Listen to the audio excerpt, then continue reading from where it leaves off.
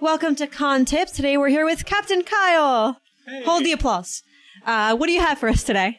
Hi, Constance. Today I want to talk about a prop that really helps out a costume, really adds to it. Um, I'm talking about prop guns. And I have some really cool ones. You want to see? Absolutely. There are all kinds of great prop guns out there. Some are made, some people make themselves. Why don't you show us what you got? Well, here's my first one. This I got at a discount dollar store. It's got a nice orange tip. It's good for your Western cosplays or if you're Rick Grimes. So, I mean, it's obviously a fake gun, but it's very con safe. And it, it doesn't look too bad, I'd say.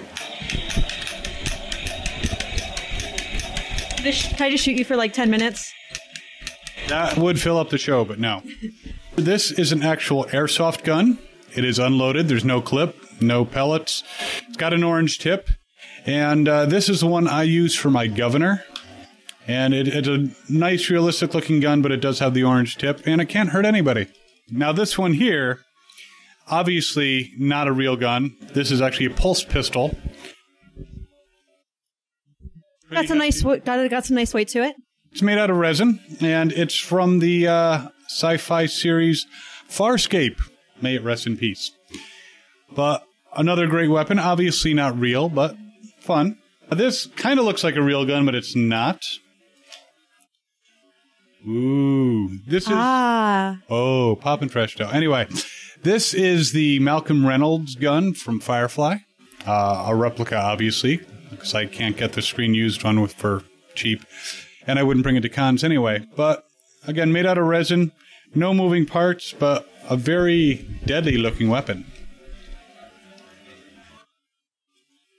Don't shoot the audience. Finally, there's this one. That is a Webley Mark IV. It is the preferred gun. Do you want to really use both fingers for that trigger? Yeah, it, it looks good, doesn't it? it looks really real. Yeah, this is a Denix replica of the uh, Webley Mark IV. It's um, a 38 caliber replica, but it's it will never fire a bullet. Never has. Um, it does have a chamber that you could put dummy rounds in, but it's not going to be able to be shot anywhere. So they're very cool. I like them. You like them? These are some pretty impressive props. They're really good. Well, thank you. However, when you're dealing with props that look realistic, even the ones that don't look re- realistic, you need to be careful with them.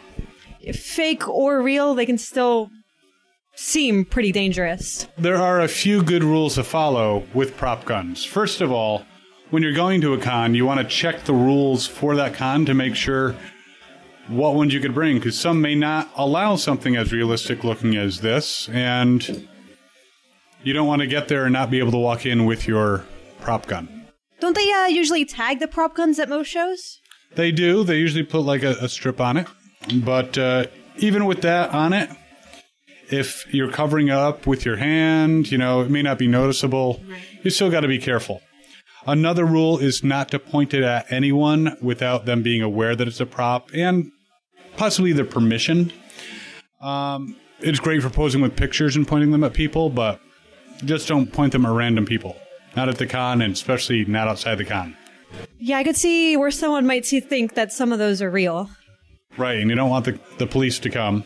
And even when you're traveling to and from the con, you might want to put them in some kind of bag or container so that people don't actually see them and get nervous. Because again, they'll grab out their cell phone and dial 911. Yeah, especially outside of a con, people are not aware of cosplayers necessarily, so they might think you're up to something dangerous, and you definitely don't want anyone calling the cops on you. That could lead to nothing good. Exactly. I mean, as a rule, police officers don't want to draw their weapon on anyone.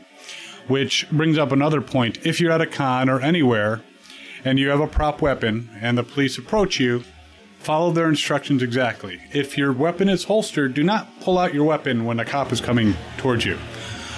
Or if you're at an outdoor photo shoot and you're actually holding a weapon and the police show up, place it down on the ground immediately and step away so they can examine it and make sure that it's harmless. Yeah, if you don't, that's a good way to get in trouble or, gosh, even shot. Yeah, we don't want that to happen to anybody. Cosplay is about fun, and if cosplayers aren't safe, that's certainly not fun. Well, that's it for this edition of Con Tips. Thank you for watching and be safe with your props out there. Hi everyone, thanks for watching this video. I hope you enjoyed it. If you did, please give us a like. You can share it with some friends and please feel free to leave a comment below. And don't forget to subscribe. And there's a little bell thing. If you click that, you get notifications when we have more videos coming out. See you next time.